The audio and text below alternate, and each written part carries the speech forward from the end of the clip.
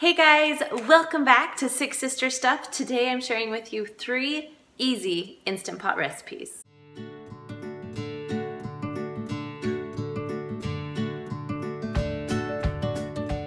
So in case you didn't know, I'm Kristen. I am sister number two from SixSistersStuff.com.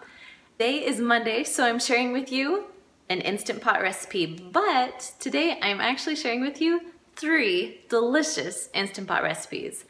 They are one with pork chops, one with ground beef, and the other one with ham, because of course, Easter yesterday, I did make that ham for dinner. Now before I get started, be sure if you haven't done so, subscribe to our channel, and of course, push that little bell to get all of our notifications.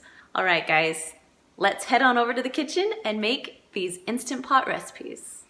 The first recipe today is Instant Pot Pork Chops. First, you're gonna add a little bit of olive oil to your pot. Now, I got these pork chops on sale and there are quite a few, so I'm actually only going to cook about half of them. So I push the saute button on my Instant Pot and then I'm putting about three pork chops down, kind of mix it around in the oil so it spreads around. Just putting three down so I can sear them.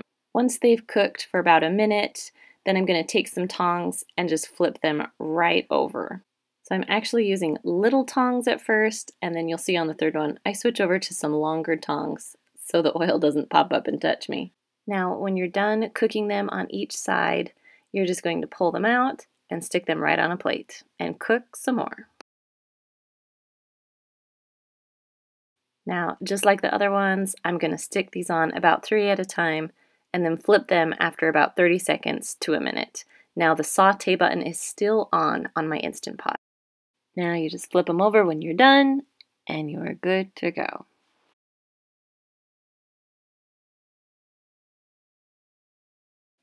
Now, once I put them in my plate, I'm going to leave my saute button still on and I'm going to add one cup of chicken broth.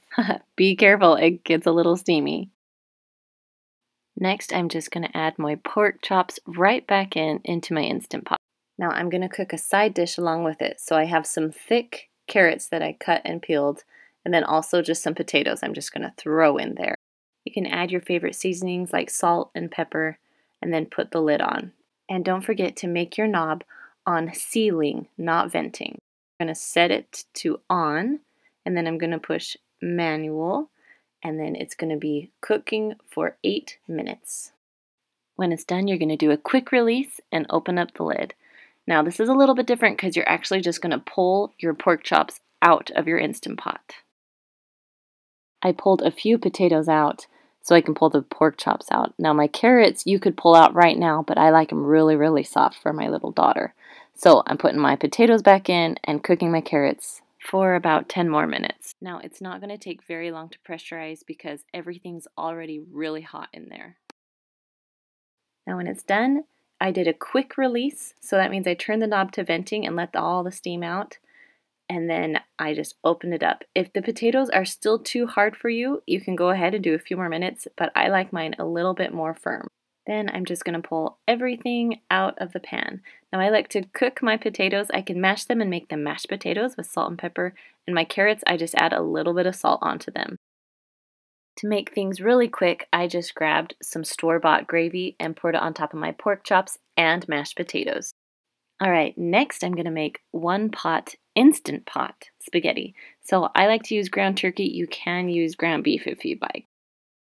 Now I'm just going to put a little bit of olive oil in the bottom of my Instant Pot. Turn your Instant Pot on and push the saute button. Next I'm just going to throw in one pound of my ground turkey and I do a half of an onion. You can do a whole onion if you want, but my family doesn't really like onions, so we do half an onion. Now, this is called a Chop Stir. If you've never heard of one, it's amazing when you're cooking ground beef or ground turkey. It just literally chops and stirs it up. I got mine on Amazon for like six or seven dollars. I'll do a link in the description for those of you who are looking for one. Now, you want your ground turkey or ground beef to be mostly cooked. It's okay if there's a little bit of pink, but mostly cooked. So now you're to add a half a pound of spaghetti noodles. So that's half of this box. Now you're to break the spaghetti noodles in half and spread them all around the meat. The more spread out they are, the better they will cook. And notice how I did some going one way and some going another way. That makes them cook a little bit better. Next, I'm going to add one can of diced tomatoes. Now, you don't have to add the tomatoes. I just like a few more chunks in my spaghetti. After the tomatoes, I'm going to add one jar of your favorite spaghetti sauce or marinara sauce or whatever you like to put on your spaghetti. Just one whole jar. Now, the trick is to cover all of the noodles, so there should be no noodles showing at all. Then put your lid on and make sure that it's on sealing, not venting. You're to cook this, to turn it on. It was on saute, then you turned it on. Then you're to do manual and up to eight minutes. Now, because the sauce was thick, I let this release on its own and then I mixed it up. I like to serve my spaghetti with rolls and a, a side salad of some sort. And my last recipe is Instant Pot Honey Baked Ham.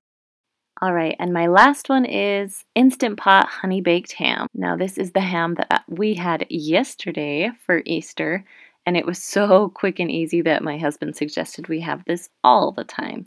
Now, with this ham, it wasn't spiralized cut. I would highly suggest getting one of those because then you could put the mixture in between each piece of ham. So these dump and go recipes are my favorite. So I'm literally just dumping in a half a cup of brown sugar.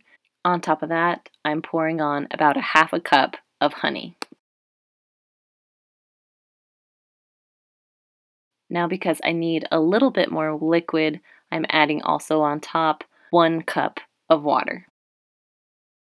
Now you're going to put the lid on, close it, and make sure it's on sealing, not venting. Now this is a pre-cooked ham, so I'm going to push manual and turn it on for 8 to 10 minutes. Now when it's done cooking, let the ham release on its own for about 20 minutes. Then open it up and it will smell so good. Then when it's all done cooking, I'm just going to put it right onto a plate and shred it. But my secret is if you push saute, that sauce will thicken up and you can pour it on your ham when you're done. I'll also put a link in the description to those cheesy potatoes. They are one of my favorites. All right, guys, those are my three Instant Pot recipes today. If you like these Instant Pot recipes, I would love if you could share it, comment, and of course, like it. Thanks, guys, for stopping by. See you later.